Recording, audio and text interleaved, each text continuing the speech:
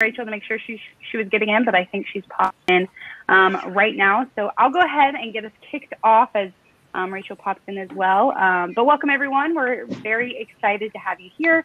Um, my name is Delaney Majors, and I am the manager of events and programs here at the DEC Network. Um, we're a 501c3 that helps entrepreneurs start, grow, and build their businesses. Um, so we know this is a crazy, weird time with so much unknown, um, especially in the VC and funding world. Um, so we thought, what um, what a great topic to kind of discuss and bring in some of our experts around the whole space, um, the industry, and really um, get a chance to ask them directly what is going on and what they expect to see over the next coming months past all this. So with that, I'll go ahead and pass it off to Eduardo, and he can tell you a little bit about himself and some of the panelists and get us kicked off and started. So, Eduardo, all you. Yeah, appreciate that, Delaney. Uh, thank you all for being here today. Thank you to our panelists for, for hopping on board and, and helping make, uh, particularly the Dallas community, the startup community, the investment community, um, just be, you know be alongside our entrepreneurs and our and our small businesses. So um, appreciate you all being here. Uh, looks like Rachel has joined. Rachel, good to have you. Um, just introducing um, the event and the panel. So high level, kind of the format we're looking at each panelist will go ahead and give a high level overview um, of their backgrounds, and then we'll hop into a couple questions that we prepared in advance that we felt the startup community is probably curious about. And then from there, we'll also, uh, as we present, please feel free to uh, anyone who's viewing to go to the chat and post your questions there. Um, at the end of the of the kind of prepared questions, we'll try to get to as many of the audience questions as we can. Uh, so that's gonna gonna be the format there. Um, so yeah, I'm gonna go ahead and introduce myself, and I'd love for each of the panelists to do the same. Um, high level, would love to hear professional, you know, name of course, uh, professional background, and uh, you know, what it, what kind of investing do you do? Is it for a firm? Is it, is it solo? And just give us a kind of a, a high level profile of your investment um, thesis slash, you know, what do you invest in? So for myself, Eduardo Zaldivar, previously worked for uh, Deloitte in the strategy division. Made my way to a startup, was there for three years, helped grow it from 300,000 to 12 million in revenue at the end of that process, joined the investment world. So now I'm investing on behalf of TXV partners in early stage technologies companies, uh, both within Texas and outside of it. Uh, Sammy, do you want to give a high level? So uh, I'm Sammy Abdullah. Hi, everybody. I'm with Blossom Street Ventures. I'm one of the uh, co-founders and the managing partner here. We're a Series A, sometimes Series B investor, million to a million and a half dollar check. We do a lot of software uh, or models that have a recurring revenue component to them.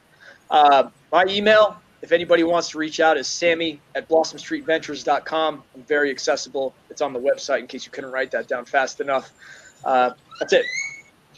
Awesome. Aaron, do you want to give us a high level? Sure.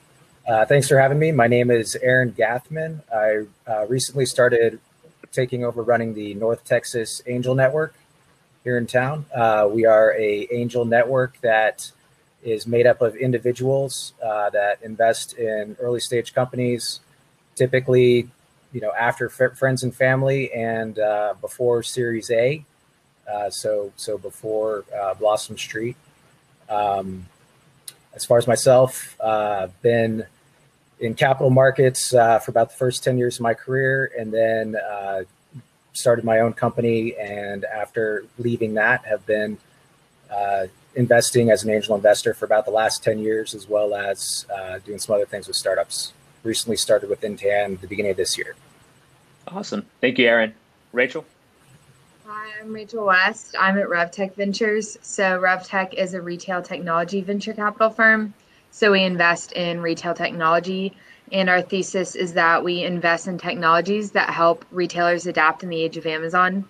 Uh, so, anything under the sun from um, Accel Robotics, which is like Amazon Go um, for all the non Amazons of the world, um, all the way to Pensa Systems, which is like this drone inventory um, AI solution. So um, we run the gamut. Uh, we're a pre seed and seed stage investor. So um, first check size is about 100,000, and then we do anywhere between one to four million of follow on. Um, my personal background, I was in management consulting before this. Um, now work at RevTech Ventures. So if anyone wants to email me, I'm Rachel at revtech.ventures. Awesome. Thank you, Rachel. And if anyone is uh, confused about some of the terms we're throwing around, please follow Sammy's blog. He's a prolific uh, blogger, and there's a lot of great uh, info on there. So shout out to, to Sammy. Um, we can just right, jump into questions. I think uh, a question that you know I'm, I'm, hearing a lot, and I'd love to hear everyone's take on. Uh, I think it's the question of the hour. Are you slash your firm still investing? If so, what are you looking for? Has that changed in light of COVID 19? Talk to us a little bit about what investing looks like for your firm or for yourself in, in this the current state of affairs we're in. And whoever wants to take that, please. Uh, popcorn, one or two can, can go, all three. Uh, whoever feels like they ha- they can speak into that. Aaron, you're in the top left corner. Why don't you start and we'll go down? Okay, sure. Uh, so yeah, there's you know in our situation, uh, being a network of individuals mm-hmm. that are basically, you know, a lot of folks. This is this is kind of a hobby or something that they like to do. Um, so there's certainly a lot of uncertainty, uh, you know, that they're having to deal with with their other businesses or other investments.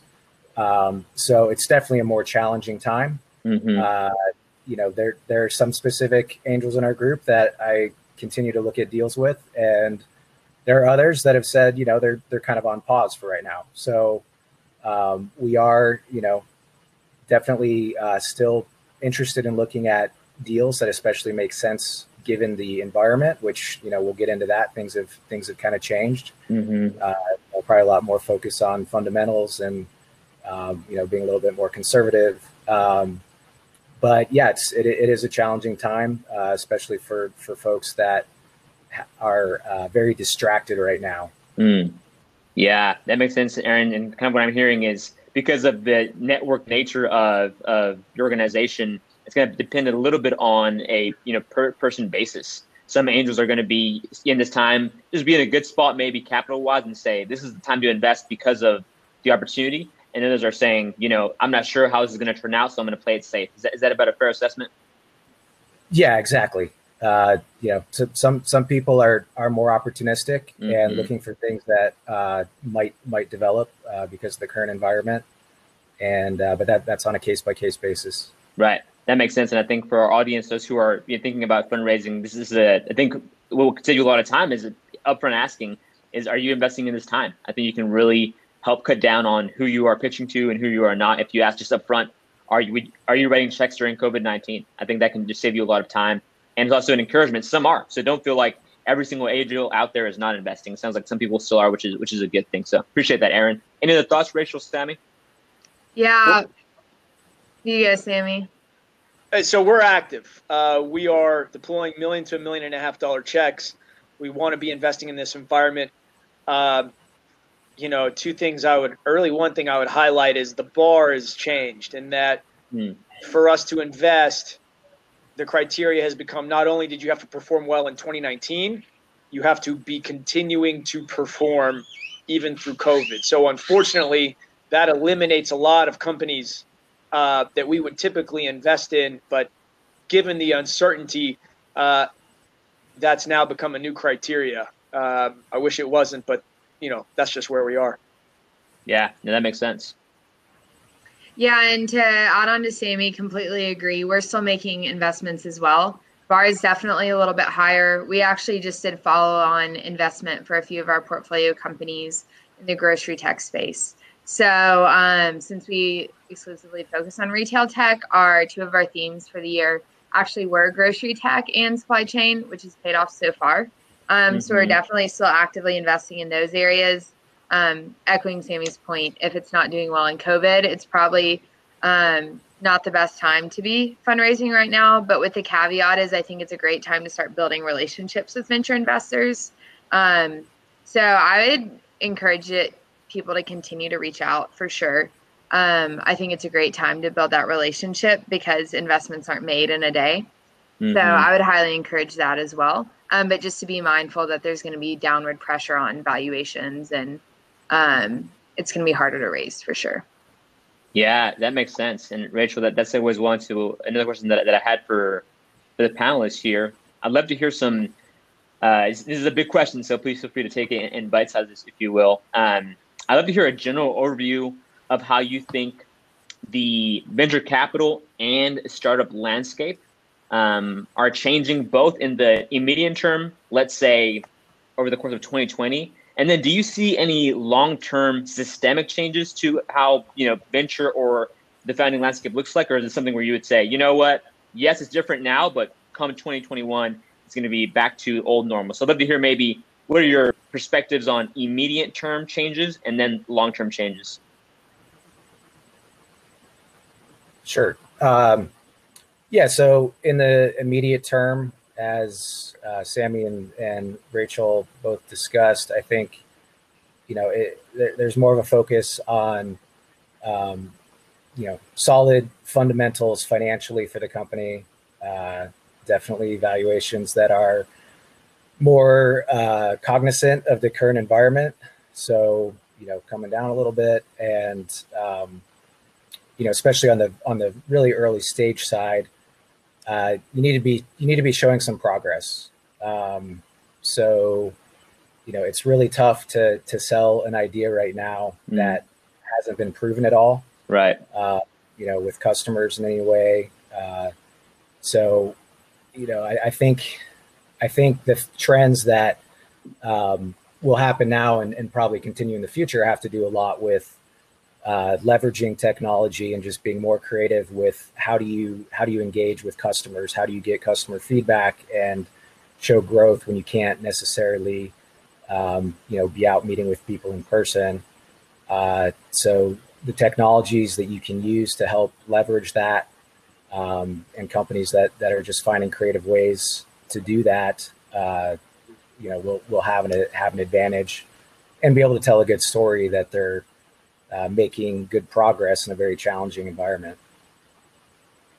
Yeah, that's helpful. I think part of what we're seeing a little bit is um, there's going to be a separation here. There's going to be almost uh, a culling, right? The startups that are, kind of survive this are going to just be very resilient startups at the end of the day. And if you can kind of survive COVID 19, I think that bodes well for leadership, for financial management, et cetera. So I, I do think, although inevitably some startups are likely going to fail in this time. We're also going to see a general strengthening of just a cohort of survivors, I think, and uh, like any other time, you know, startups are some of the best startups are built in a recession or post recession, and that forces just a certain level of perspective, whether it's financial discipline. Um, it, it forces like if you don't have a product that's actually meaningful, COVID nineteen is going to be a really tough time. It might still be if it is meaningful, but it's going to be especially tough time if, if the product you're building maybe doesn't have a good fit and, and doesn't really need it. So that's helpful, Aaron. Appreciate your perspective. Yeah, in the long term, I think structurally, you're not going to see as many significant changes, but I do think that um, the timeline to that acceleration of these new trends has just advanced and skyrocketed. So you're seeing a lot of grocers and legacy retailers needed to have more online activity, and so I think they're being pushed more to build out those capabilities and so certain themes i think that would have been more of a focus area in 2021 2022 i think we're going to be focusing on earlier. Um, echoing Aaron in the short term i think you're going to see venture activity slow down just because the bar is higher. But in the long term i think you know our doors are still open. I think other venture investors doors are still going to be open. Um, mm-hmm. so i mean i think it's a great opportunity right now. You're going to see new um, new ideas people come up with when they were cooped up for four months. Um, you had Stripe, you know, made during the last recession, Brooklyn, and all different types of companies. So I'm pretty optimistic about the outlook in the next few years. Yeah, no, that's helpful. Sam, any any additional thoughts on immediate term and long term perspectives VC startup landscape? Yeah, the Series A and Series B level, you know, the deal that I described that we're looking for, which is companies performed well in 19 and are continuing to perform well through COVID. We're not unique. Every venture fund is looking for that ilk of company. So, um, as a result, you know, there is a potential that valuations for that type of business might actually go up. Uh, So, hmm. if you are a remote work business, if you benefit from this environment in any way, maybe you're an e-commerce business, uh, this is an interesting time to raise money. Uh, on the opposite end of that, that, I think there's a lot of VC right now that are not deploying because they're looking internally. You know, where's my portfolio? which portfolio companies are hurting, which portfolio companies are going to need a, a, a, rescue round, an inside round. So there's going to be some VC that are off completely. Um, um, net net, if you're performing well in this environment, I think it's safe to go out and try to raise. Uh, you know, if you are being impacted by COVID, uh, that along with the combination of a lot of VC pulling back, at least in the short term, uh, makes this a very difficult time to go and try to get money. Uh, long term, I think a lot's going to change. Uh, you know, and it we started to see a change in 19 when Uber went public, Lyft went public, WeWork tried to go public, right? These companies were burning exorbitant amounts of cash, and the investor community threw up, frankly. Mm-hmm. Um, now, with COVID, I think there's going to be a, a doubling down of that theme, in that it is not okay anymore to just light cash on fire for the sake of growth. Uh, mm-hmm. Economic models matter. Uh, and so, you know, I do believe, at least in the medium long term, uh, until it gets frothy again, that uh, building real businesses is going to matter again. Because uh, for a while, uh, it, it, didn't, um, especially on the coast, or at least on the West Coast. Uh, so, those are my thoughts.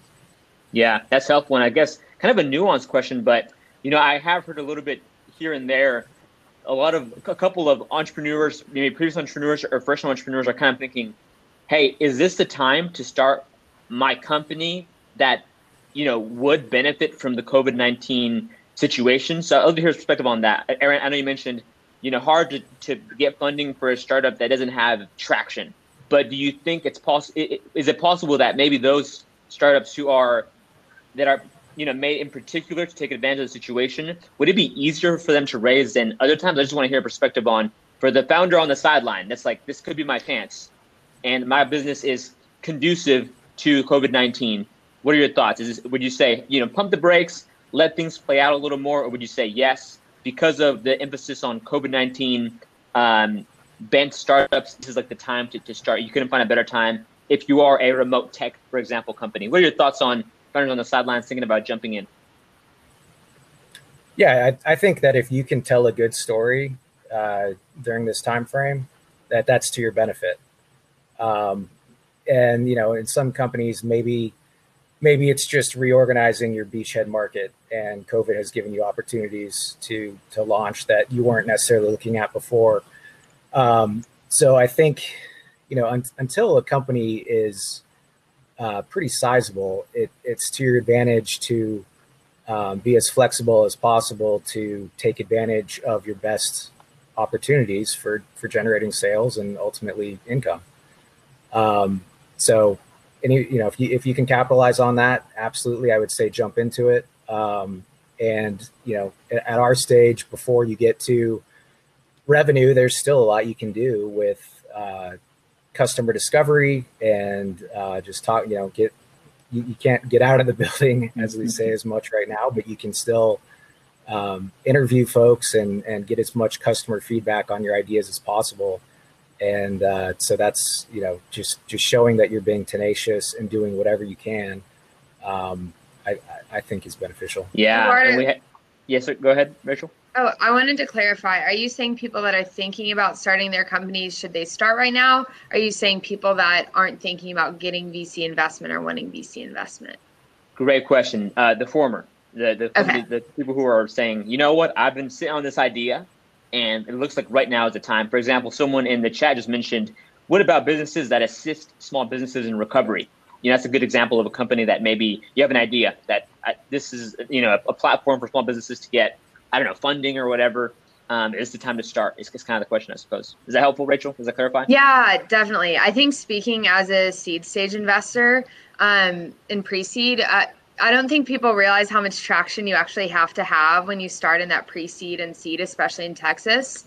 If you go to mm-hmm. California, maybe it's acceptable to have a little bit less traction, uh, but in Texas, I think we're we're one of the venture firms that's as early as you can get. And I mean, we like to see signs of a first customer um, and a potential like completed pilot um, through. And so that's pretty a pretty significant benchmark. Um, so if you're mm-hmm. thinking about starting, I mean, I think it's great. Pilot it, start it, uh, see how far you can get. Um, but just be mindful that the timeline from starting your product, a lot of our founders, we didn't invest till they had their com- until they had their companies for three or four years. Um, mm. So there's, I think there's this whole misconception of just overnight success in venture and a startup starts at ground zero and then it accelerates in year one. But there's kind of a bed a lot of times of, you know, anywhere from six months to a few years before they even go out to venture to develop that concept. So in summation, great time for incubation, but make sure you incubate it before you go to venture investors. Yeah, no, that makes sense. That's really helpful. And I think um, what I'm hearing also is, you know, you're, hey, if you have a business that you think you can start up and would do well and can pick up traction particularly fast, that's not a yeah. bad idea.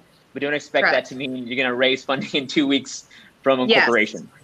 Exactly, exactly. I think it's a great time to try new things, but also be mindful of what world is what the world's like in post COVID. So I think answering the question about businesses that assist small businesses in, rec- in recovery, I think that's great. My next my next two questions would be one, um, if it's assisting those companies, is this a long term play? And the second question is, is it venture backable? Um, those are the two questions I would ask. But if it satisfies those two questions, I would say go for it. Um, if you're a Series A or Series B company and you're performing well in this environment, you should absolutely be raising. Uh, the number of venture funds looking for strong performers now certainly outweighs those that are sitting on the sideline, in my view. Uh, you know, if you have a business and you're thinking about starting it, it's always a great time to start a business in all environments, right? Certain businesses do very well in recessions. Look at Shopify. Shopify exploded in 08, 09 um, mm-hmm. and, and, then you know went on to be the company that it is today.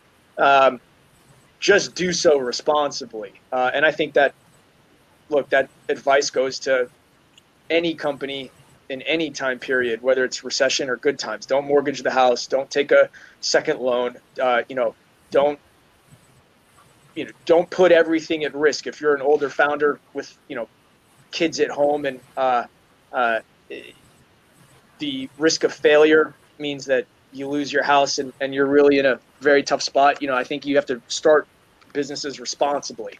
Uh, mm-hmm. And so that advice goes, you know, irrespective of the period. But yeah, if you are performing well now and you performed well in 19, you should go raise.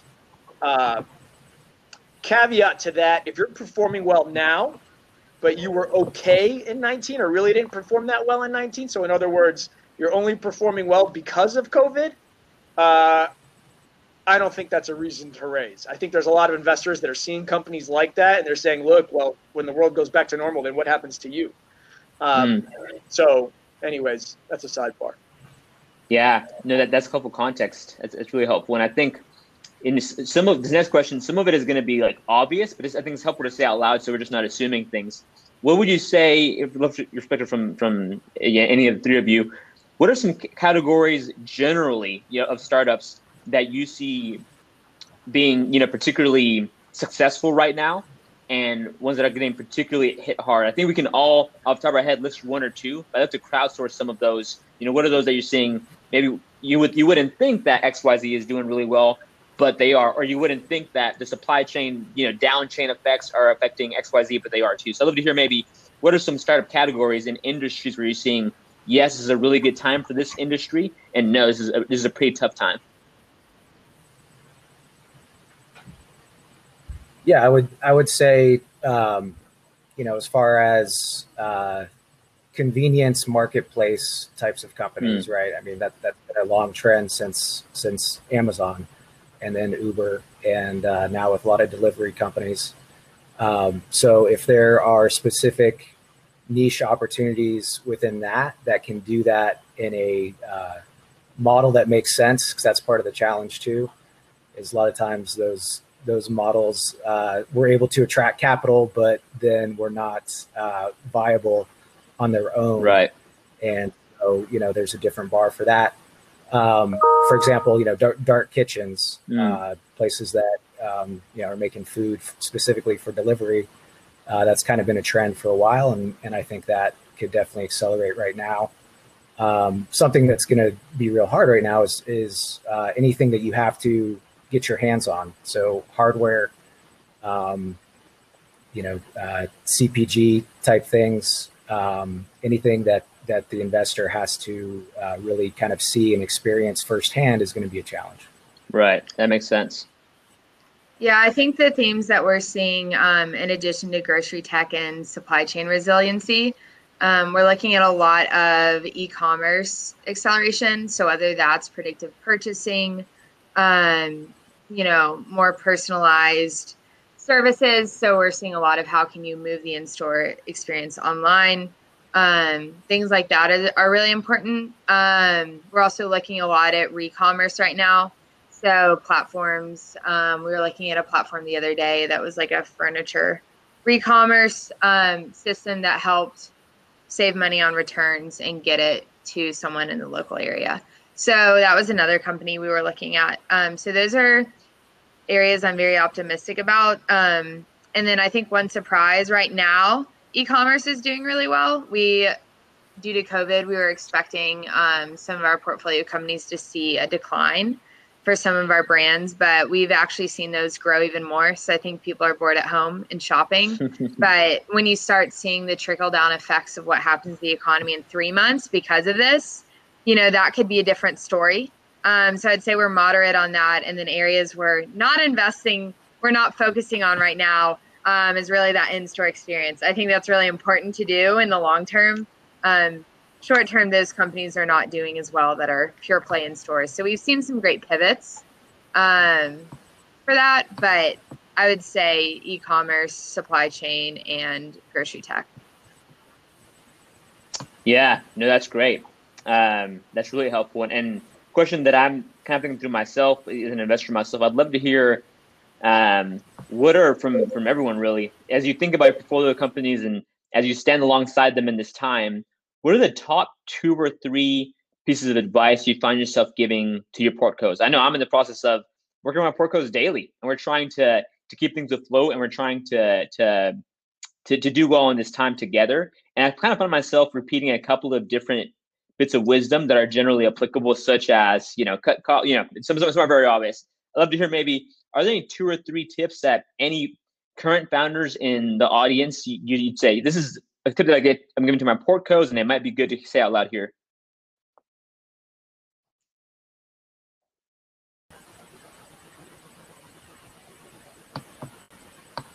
Aaron, go ahead. We'll keep the order. Uh, sorry, could you summarize real quick? My my dog was yeah. in the background. Absolutely. What advice are you giving to? What, what advice do you find yourself predominantly giving to your portfolio companies that you're supporting? And any of that that you think would be worth sharing with the audience here who includes founders of companies right now? Um, I mean, it's a little bit different with us because it's not necessarily, we don't specifically have a uh, portfolio. You know, it's, right. it's individuals that um, invest in companies across, so there's not any sort of standardized help with that. Mm-hmm. Um, so I, yeah, I don't, I don't know if we're the, the best option for answering that one. Yeah, no, I get that. I think, and in I'll actually answer a little bit just because I've just got off a call with one of our founders, and this is a very just very fruitful and something that I find myself repeating often. One thing that I, TXV, our firm, um, we're in the process of doing is um, just cautioning a couple things. One, cautioning uh, largely freezing on hiring. Is is the kind of market where we, we, we won't see exactly what the, as you said, Rachel, what the rebound looks like right now we, we're kind of we know what, what it now looks like, but we don't know what three months from now look like, and what are the downstream effects of two, 27 million people not having a job. And so a lot of what we're focusing on now is, you know, how do we how do we freeze hiring but still try to you know adapt uh, in that way? while at the same time, um, you don't want to be cutting people where it, later on they're going to be a very important asset. So right now it looks like how can we get creative around keeping the people that are just instrumental um, while also saying, okay, we know we're going to have to increase capacity. And what that can really look like is hiring. So for us, it looks like being very strategic around talent management. And really, there's a lot of our founders, candidly, have more time on their hands because of COVID 19. And what I'm counseling founders is right now is the time to be investing in your team. If you haven't spent time with the sales team in a while, now's the time. If you haven't spent time with the engineering team and you haven't been updated on product specs, there's a lot that can be done even in the pause. So I think one thing that I would encourage the audience here who might be a company is there's a lot that can be done, even if sales are slow or non-existent right now. And the things that you do now will make you resilient um, as we see a turnaround. Um, another one that we're looking at is at the same time, uh, it's a similar idea. It's really hard to get new customers right now, I think, for a lot of businesses. But what's even harder is losing a customer and trying to replace them right now. So giving a full white glove service, uh, uh, once again, kind of the talent management piece. members who typically historically worked on the sales side, we're now using them as customer satisfaction, customer success um, team members.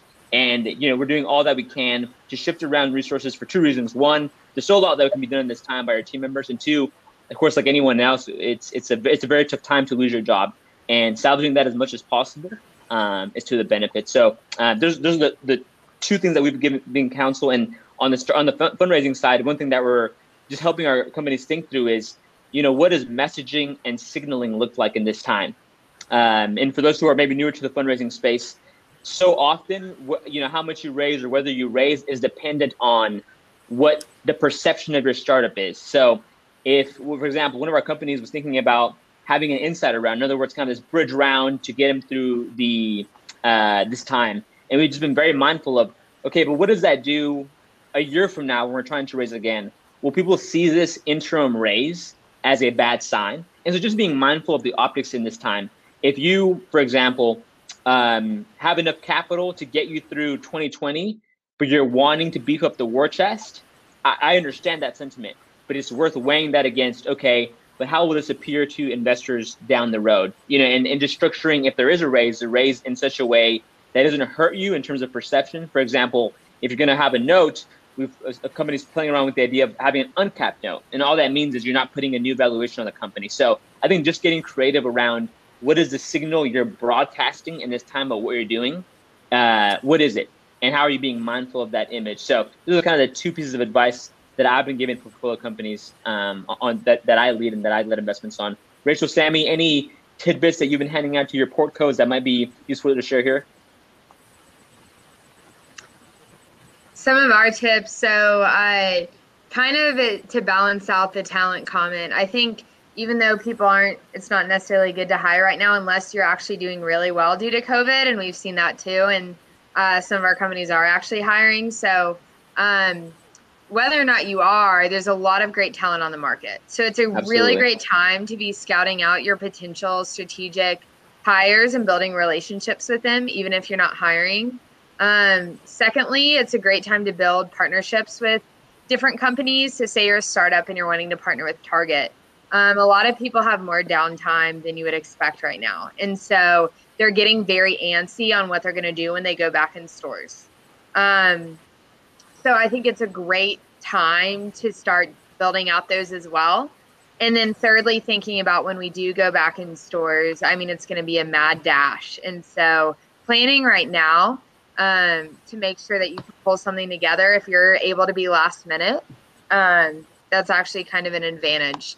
And then um, two other quick things offer free pilots. Right now, people aren't paying. So if you can get them for three months, see if they're willing to do that. Um, and then mm. finally, one thing I heard from our PR partner, Kettner Group, was actually um, if you're going to do press around COVID, not to do just this huge effort because everyone's doing that. Um, but if you are going to support people, do hyper personalized outreach. So mm. don't, I mean, that we're here to support, I guess that's nice, but um, unless you're doing something super substantial for the community, um, it's best to really be mindful of what that would be. Mm. Yeah, that's good. It sounds like just being uh, just being thoughtful and, and, just not coming off as uncouth or insensitive in this time is, is a little bit of what you're sharing, which I think is, is very wise. We've told our portfolio companies that it's okay to lose a year. Uh, so some of them are doing very well from COVID, some of them are not. Uh, and so for those that are not, um, you know, don't do anything. Don't try to grow. Don't plow into sales and marketing to try to reignite growth. Your customer acquisition cost is going to blow out.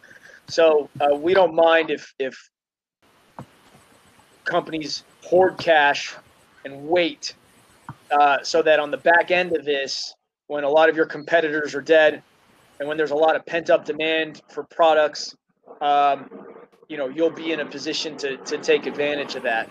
Uh, everything else is, you know, I think pretty obvious at this point in terms of cost cutting, in terms of if you have a, a, a B or C player on your team, they're not going to become an A player in this environment. Switch them out. Um, mm-hmm. So, but yeah, that's that's the one big thing is just conserve uh, if this is not an environment that's helping. Yeah, no, that's really good. I think that that's actually a great point. At the end of the day, it's it's better to lo- lose a year um, than it is to lose the company, and if it's just kind of towing that line. So I, think that's really helpful advice. Um, and then just something that you follow up question, Rachel. I'm, I'm, glad you brought it up, and, and you've spoken on it a little bit, but I'd love to hear suggestions around, um, as we all know, especially anything B2B, but even beyond that, selling is really tough right now. And Rachel, you, you, you made a great point around there's an opportunity to do to be doing free pilots. Any other thoughts, uh, Aaron, Sammy, on what are some recommendations you have for, for the sales team at these at the startups or at these small businesses? Any additional thoughts there? I think you need to focus on companies that are doing well. Um, mm. You need to go find the Zoom videos of the world.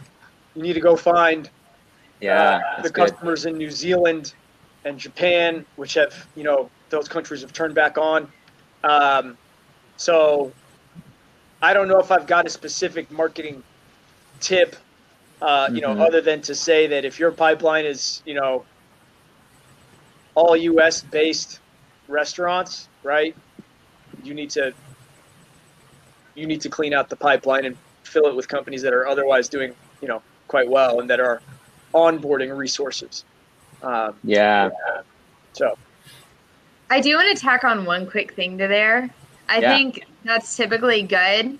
Um, one additional way to think about it is for those retailers that aren't doing well, like restaurants, their pressure to innovate has accelerated. So they're scrambling right now, and there's they're going to have to change a lot to be able to survive. And so if you're one of those companies where you could be very pivotal to helping them change and there's a great value proposition, um, that's just something to consider as well.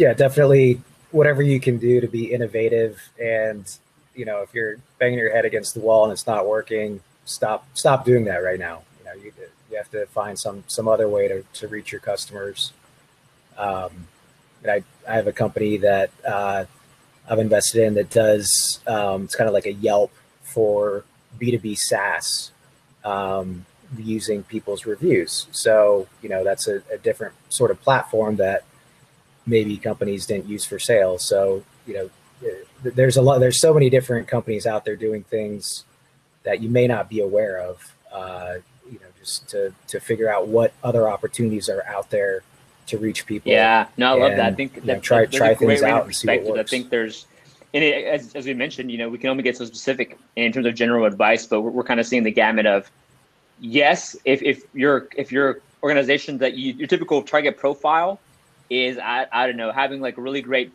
uh, pictures for the food at the restaurant, it might be worth thinking about what is what do different target segments look like, and it's also worth thinking, okay, but if these companies are looking to add value and, and make sales, these restaurants might more than ever needs your technology potentially. I think it's somewhat dependent on the technology that you're selling. Um, but that's great. I think both those are great. And I think it's up to the audience in particular. Think about your situation, think about the product that you're selling, your target segment of the market. And is this is this a time to double down on your your existing client base, or is it time to try to pivot and, and rehash the sales strategy a little bit? So I think both are valid and both are potentially incredibly helpful. So I appreciate you sharing that.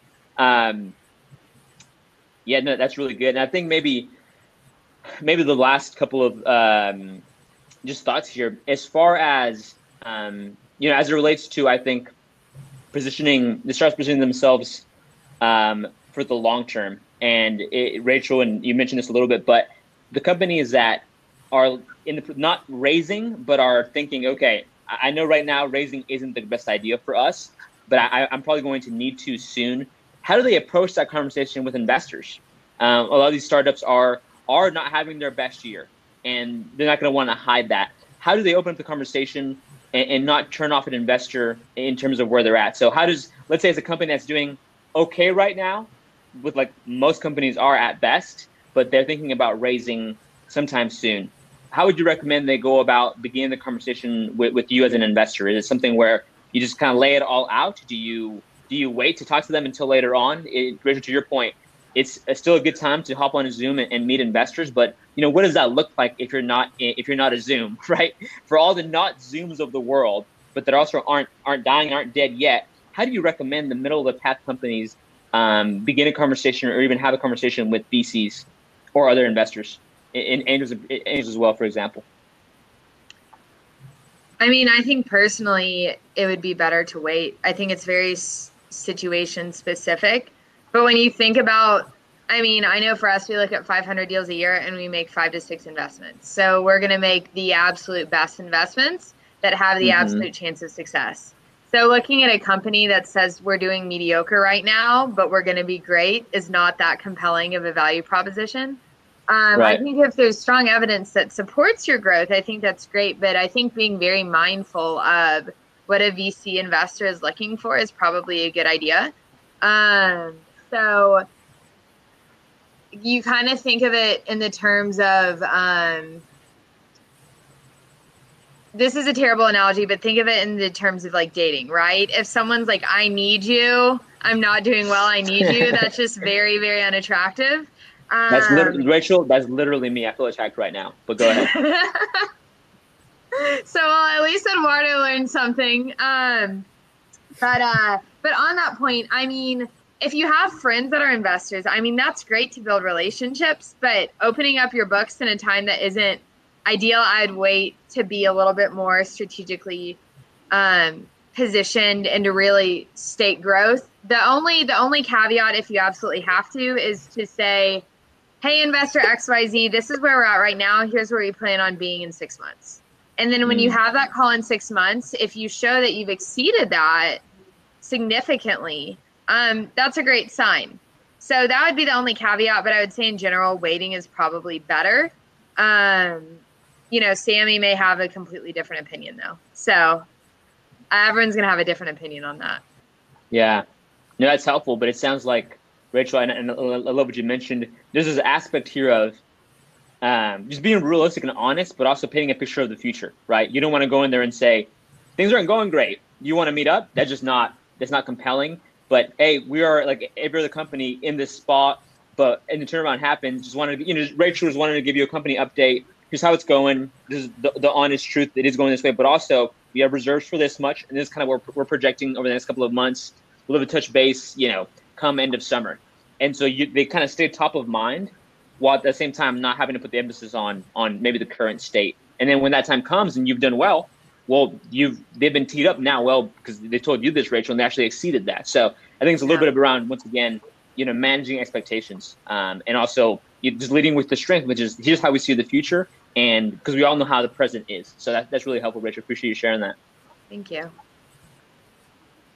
Yeah, if you must raise right now, um, man, I mean, I don't envy anybody that's raising in a normal environment. And certainly in this environment, it's terrible. Um, but if you must raise now and you're not performing well, uh,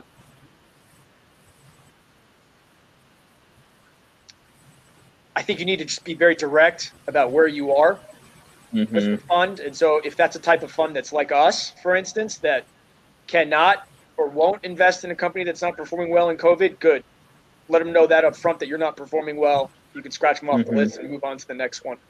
Uh, you might focus on strategic VC uh, that maybe are in your space and have a mandate to invest in your space and have dry powder. Um, so who you're pitching matters a lot more in this environment, especially if you're not performing well. And then finally, you know, this is not normal. Uh, so um, to you know everybody's hurting. I don't necessarily. I personally don't hold it against somebody for being desperate in this environment, and if you have to raise, then you have to raise. Um, mm-hmm. So if you're honest about it, you show that you're willing and reasonable, uh, and you know will give up concessions on structure, on valuation, and you just recognize your position and you're honest about that. Perhaps you might attract an investor who will take that bet. Um, But boy, uh, fundraising's hard already. It just got ten times harder if you're not performing well. Um, certainly, if you can avoid it, avoid it. But if you can't, I think you just need to be very direct about where you are. You know, show that you're willing to give some things up, um, and focus on those VC that are in your space or have been talking to you for a long time and know you pretty well. Uh, that's about all I can say. Yeah, know that's very helpful. I think ultimately, kind of what I'm hearing is that obviously not easy, but if you're in a position where you have to, you can really save a lot of time by just being really upfront about where you are and just targeting that um, investor um, list of people that you're calling to potentially raise from. If if, if one you don't have an existing relationship, that's just going to be really tough to cold call an investor from wherever that's never met you to take a bet on a company that is not looking that good. So kind of prioritizing those who you have some level of relationship with, or for some reason it makes sense strategically. Maybe it's a strategic investor that's in a corporation, a corporate venture capital firm, for example. Um, those are the kind of companies that might be willing to take the bet in that it's not just valuation, but it makes strategic sense for them to partner with you. So that, that's that's very helpful, Sammy. Um, Aaron, any final thoughts on companies that are at the earlier stage and wanting to approach angels, uh, angel investors, but aren't sure about how to approach it in light of maybe their current state?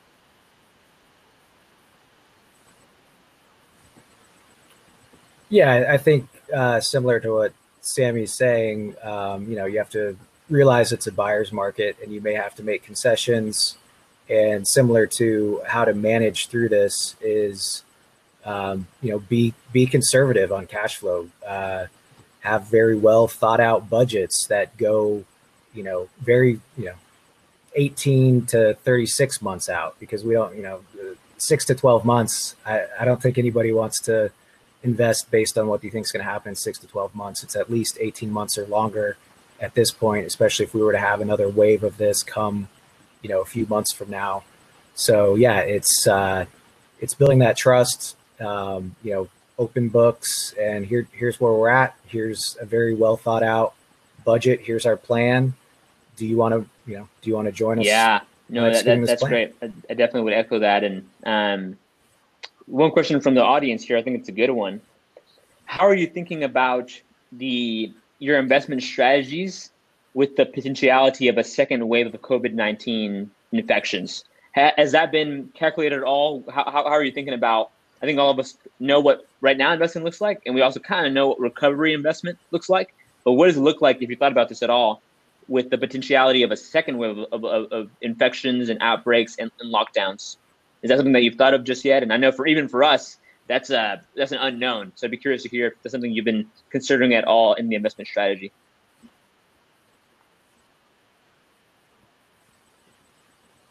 Yeah, I, I think it you know gets back to what I was just saying as far as um, you know, it's not it's not 12 to 8 mm-hmm. month runway or 12 to 18 month runway right now. It's yeah. and I think I would just add to that from our perspective at TXV. Um, some of those have been articulated before, but we're we're just not. It's a lot less likely for us to take a bet on a company that will only survive with a sharp recovery in three months. Uh, so even if you're a company that you know you're you're struggling right now, but you know, it, you can kind of see a, a pretty big uh, turnaround situation if the economy recovers and, and things are lifted. Uh, for us as investors, that's still a risk because of a second or third wave potentiality. So, unless, as Sammy mentioned, we have an existing relationship um, or there's a, a, really strong reason for us to do so, um, we're just not willing, as of right now, to invest in companies that their success and survival is dependent on a turnaround. Because frankly, we're just not sure right now if that turnaround is coming in three months or 15. So that, that's kind of our perspective as investors as it relates to the second wave, uh, the potential second wave. Rachel, Sammy, any additional thoughts, or do you feel like we've covered the, the second wave scenario? I feel like it's pretty covered. I just think if it's resistant to COVID, that's what we're looking at right now. If there's a second wave, that's what we'll still be looking at. Uh, if there's not a second wave, obviously that strategy will change. Um, so nothing that changes from present, I would say. Awesome. Sammy, do you feel similar? I haven't thought about second wave because I don't want to. Um, so mm. it is not driving my investment strategy, you know, along with what everybody else said. If you're performing well now, hopefully you're performing well in second wave. And uh, hopefully, if there is second wave, uh, as a country, we're in a much better position to handle it. So perhaps the dip won't be as bad of a dip as we're having now. Mm. Yeah, no, I, I think we're um, this first time around for everyone has been incredibly difficult. Um, so I know for the people in the audience know that we're we we're, we're here for you. We hear you. We, we, we empathize with you going through, and I know that any any of us uh, here on the call would be very happy to to be emailed and to touch base if you're in a situation where, as an investor, we could be helpful.